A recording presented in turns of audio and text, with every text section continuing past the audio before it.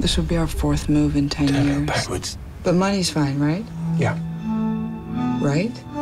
Yeah. This is a fresh start. How about this? Oh my god. It's perfect now. It's what we always wanted. Is it?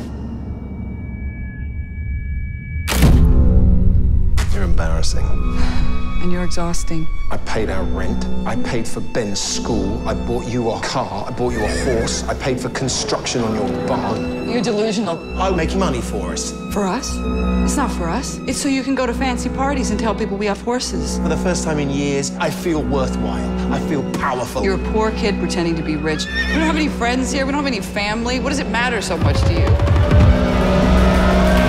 Because I deserve this!